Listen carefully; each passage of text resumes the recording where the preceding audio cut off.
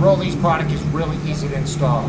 What you want to start out with is getting measurements from your dock to your stern, is your first measurement, and your dock to your bow of your boat. And that's where you're going to line up to get your middle measurement. And that's where you want to take it, whether you're getting installed a single bracket, one of our double or triple. But keep in mind, we can customize an order depending on how big you really need.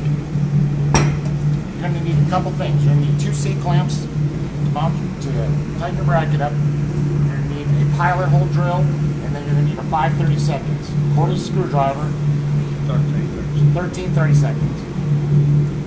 Cordless drill. You're going to zoom through. You want to go all the way through both sides. You have to get yourself some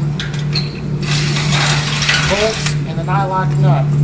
Now, depending on what size your actual frame post is, it's going to uh-huh. depend on what you want to fit. You want to make sure it goes all the way through. You have room to put your nut up. A couple 9 16 inches, and you're in business. And not only is this going to make it easy when you come in, it's going to keep the gouges off your boat. If you have bad inclement weather, it's going to help you. And you can also, very easy to find your slip when you're coming in. To order Rolleaz, call 888-504-9904.